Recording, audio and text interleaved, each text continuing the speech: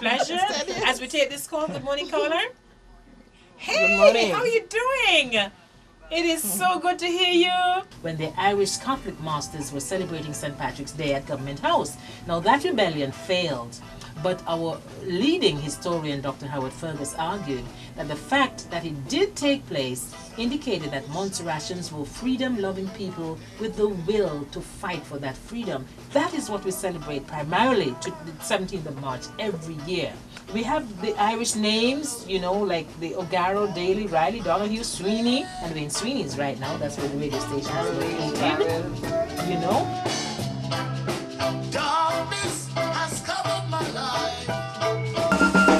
Morning time now, just about 29 dot plus the hour of uh, 8 o'clock, and there you just had it. Hybrid Masquerades doing uh, the number five track there for you.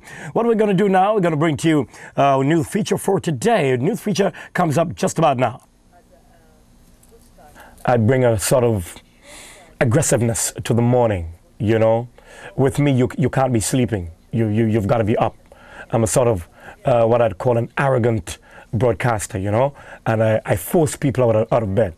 If I can even get into their bedrooms and maybe throw some water on them, I, I'll do that. Because I believe that in the mornings, people should be up and get the, the fresh air. And uh, oh, there's an old saying that the, the early bird catches the worm you know? So i encourage people to get up. Even if you've been partying all night you know that you're obligated to go to, to, to work. You have your children to feed. You've got to pay the bills. So why not get out of bed and let's go? So jb hi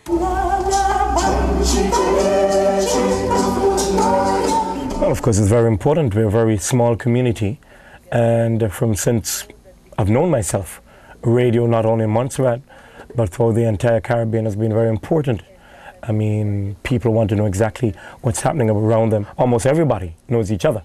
So it's very important, you know, want to know who died, you know, who had a baby, you know, what's the big story, who got in an accident, you know, stuff like that. So it's very important. The time, you know, very important. I think that we are very fortunate, really, uh, very fortunate, very, very uh, proud of where we are, how we've stood by each other even though everything else around us has been crumbling.